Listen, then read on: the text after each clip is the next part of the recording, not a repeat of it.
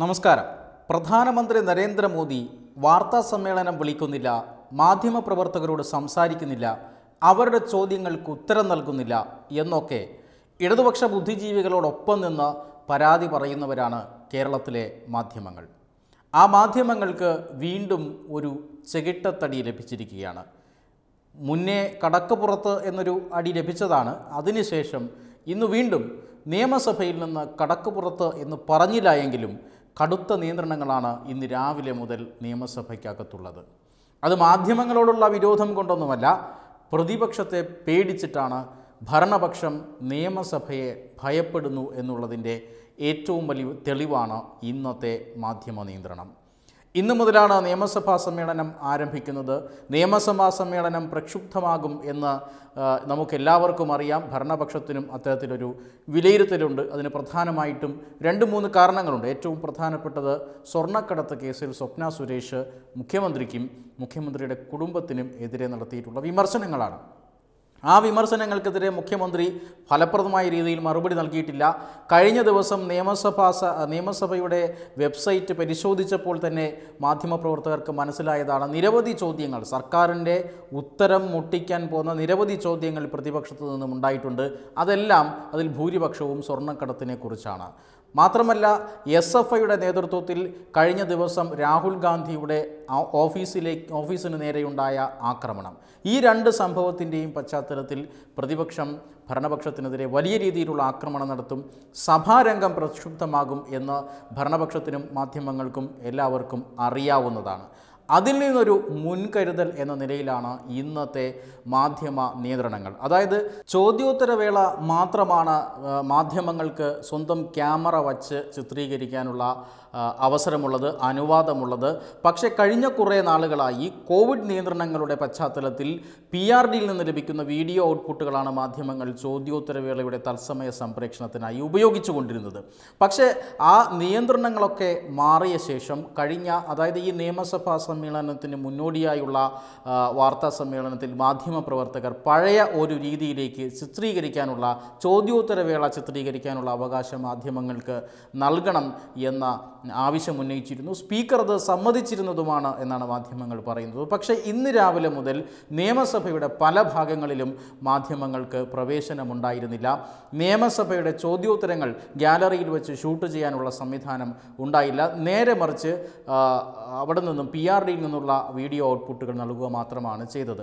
അതിനും മാധ്യമങ്ങൾ ഒരുക്കമായിരുന്നു. അതിനോട് മാധ്യമങ്ങൾക്ക് സമ്മതമായിരുന്നു. പക്ഷേ പി ആർ ഡിയിൽ നിന്നുള്ള വീഡിയോ ഔട്ട്പുട്ടിൽ പ്രത്യേകം അവർ ശ്രദ്ധിച്ചത് പ്രതിപക്ഷ നിരയെ സ്ക്രീനിൽ നിന്ന് ഒഴിവാക്കുകയായിരുന്നു. പ്രതിപക്ഷത്തു നിന്നുള്ള പ്രതിഷേധങ്ങൾ പ്രത്യേകിച്ചും കറുത്ത വസ്ത്രമണിച്ചും കൊണ്ടുള്ള പ്രതിഷേധങ്ങൾ പ്ലക്കാർഡുകൾ ഉയർത്തിക്കൊണ്ടുള്ള പ്രതിഷേധങ്ങൾ ഈ പ്രതിഷേധങ്ങളെ എല്ലാം സ്ക്രീനിൽ നിന്ന് മാറ്റി നിർത്താനായി പി ആർ ഡി അധികൃതർ ശ്രമിച്ചു. അതുമാത്രമല്ല എല്ലാ മുഴുവൻ സമയവും ഭരണപക്ഷ ബെഞ്ചുകളെയും അല്ലെങ്കിൽ സ്പീക്കറുടെ മുഖവും മാത്രം ആണ് സ്ക്രീനിലുണ്ടായിരുന്നത് പ്രതിപക്ഷത്തു നിന്നുള്ള ശബ്ദങ്ങളെയും അതുപോലെ തന്നെ പ്രതിപക്ഷത്തു നിന്നുള്ള ദൃശ്യങ്ങളെയും പി ആർ ഡി ഒഴിവാക്കി എന്നാണ് മാധ്യമങ്ങൾ ആരോപിക്കുന്നത്. അതുകൊണ്ട് തന്നെ മാധ്യമങ്ങൾക്ക് നിയമസഭയിൽ എന്താണ് നടക്കുന്നത് എന്നറിയാത്ത ഒരു സ്ഥിതിയുണ്ടായി. അതാണ് രാവിലെ വലിയ രീതിയിൽ മാധ്യമങ്ങൾ പ്രതിഷേധിച്ചത്. ഇന്ന് രാവിലെ മുതൽ തന്നെ നിയമസഭയുടെ മുന്നിലും പ്രതിപക്ഷ നേതാവിന്റെ ഓഫീസിന് മുന്നിലും അതുപോലെ തന്നെ മറ്റു ഭാഗങ്ങളിലും എല്ലാം മാധ്യമങ്ങൾക്ക് സാധാരണഗതിയിൽ കടന്നു ചെല്ലാമായിരുന്നു. പക്ഷേ ഇന്ന് രാവിലെ മുതൽ ഇതുവരെ കണ്ടിട്ടില്ലാത്ത തരത്തിലുള്ള നിയന്ത്രണങ്ങൾ ഏർപ്പെടുത്തിയിരുന്നു. കാരണം പ്രതിപക്ഷത്തു നിന്നുള്ള പ്രതികരണങ്ങളെ മാധ്യമങ്ങളിലൂടെ ജനങ്ങളിലേക്ക് എത്താതിരിക്കുക എന്ന തന്ത്രം ഇടതുമുന്നണിയും അതുപോലെ തന്നെ ഇടതുമുന്നണി നേതൃത്വം നൽകുന്ന സർക്കാരും പ്രത്യേകിച്ച് സി പി എമ്മിന്റെ തീരുമാനമുണ്ടായിരുന്നു. ആ തീരുമാനമാണ് സ്പീക്കർ നടപ്പിലാക്കുന്നത് എന്നാണ്. കടുത്ത മാധ്യമ നിയന്ത്രണങ്ങൾ കേരളത്തിലെ ജനാധിപത്യ ബോധത്തിന് അനുയോജ്യമാണോ എന്ന ചോദ്യമാണ് ഇപ്പോൾ ഉയരുന്നത്. മാധ്യമ സംസ്കാരത്തിനും മാധ്യമ സ്വാതന്ത്ര്യത്തിനും വേണ്ടി വാദിക്കുന്നവരാണ് ഇടതുപക്ഷവും കമ്മ്യൂണിസ്റ്റ് ബുദ്ധിജീവികളുമെല്ലാം പക്ഷേ അവർ നേതൃത്വം നൽകുന്ന സർക്കാർ തന്നെ നിയമസഭയ്ക്കുള്ളിൽ വലിയ രീതിയിൽ മാധ്യമ സെൻസറിങ് ഏർപ്പെടുത്തിയിരിക്കുന്നു. അടിയന്തരാവസ്ഥയ്ക്ക് സമാനമായ മാധ്യമ സെൻസറിങ് നിയമസഭയ്ക്കുള്ളിൽ ഏർപ്പെടുത്തിയിരിക്കുന്നു എന്ന് പറഞ്ഞാൽ ഉയർന്നു വരുന്ന ആരോപണങ്ങളിൽ ഈ ആരോപണങ്ങളിൽ മുഖ്യമന്ത്രിയും സർക്കാരും അസ്വസ്ഥനാണ്.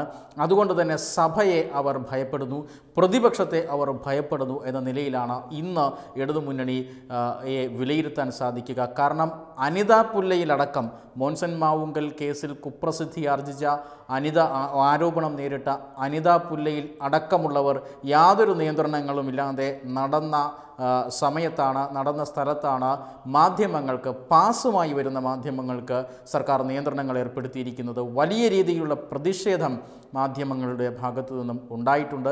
പ്രതിപക്ഷം അത് ഏറ്റെടുത്തിട്ടുണ്ട്. സഭ ഇപ്പോൾ ഈ വാർത്ത ചെയ്യുന്ന സമയത്ത് അല്പസമയം നിർത്തിവച്ചിരിക്കുകയാണ്. ഇനി ചോദ്യോത്തര വേളയോടുകൂടി ആരംഭിക്കുമോ? അതോ മറ്റ് നടപടിക്രമങ്ങളിലേക്കാണോ സഭ കടക്കുക? സഭ ഇനിയും പ്രക്ഷുബ്ധമാകുമോ? പ്രതിപക്ഷം ഈ മാധ്യമ വിലക്ക് ഏറ്റെടുക്കുമോ എന്നതെല്ലാം ഇനി കാത്തിരുന്ന് കാണേണ്ട വിഷയങ്ങളാണ്. എന്തായാലും രാവിലത്തെ പത്ത് മിനിറ്റ് കൊണ്ട് ഒരു കാര്യം വ്യക്തമാണ്. സർക്കാർ നിയമസഭയെയും പ്രതിപക്ഷത്തെയും മാധ്യമങ്ങളെയും ഭയപ്പെടാൻ തുടങ്ങിയിരിക്കുന്നു. വെബ് ഡെസ്ക് തത്തുമയി ന്യൂസ്.